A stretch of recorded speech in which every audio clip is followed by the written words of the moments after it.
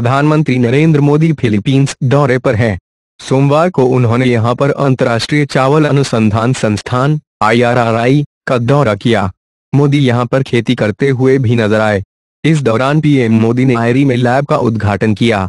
इस लैब का नाम पीएम मोदी के नाम पर ही रखा गया है। लैब का नाम श्री नरेंद्र मोदी राजिला एंटराइज फ़ील्ड लेबोरेटरी रखा गया है। इससे इतर पीएम ने यहाँ वैश्विक चावल अनुसंधान केंद्र के बैंक उद्यान की दो प्रजातियों के बीच सौंपे। बीज देते हुए प्रधानमंत्री नरेंद्र मोदी ने कहा कि आईआरआरआई प्रमुख अनाज की खेती में सुधार करके गरीबी और भूखमरी को कम करने की दिशा में काम कर रहा है। सोमवार को लॉसबानोस में अंतर्राष्ट्रीय चावल अनुसंधान संस्थान आई पहुँचे प्रधानमंत्री ने वहाँ काम करने वाले भारतीय वैज्ञानिकों के साथ बातचीत की।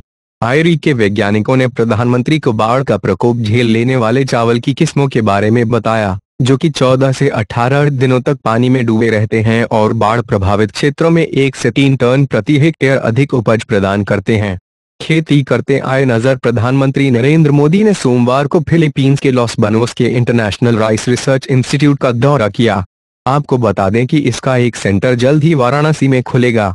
प्रधानमंत्री ने यहाँ पर एक फ़ोटो प्रदर्शनी को भी देखा, जिसमें धान की खेती वाराणसी में खुलने वाले सेंटर आदि के बारे में विस्तार से बताया गया था। पीएम ने इस दौरान आयरी में कार्यरत कई भारतीय वैज्ञानिकों से भी बातचीत की।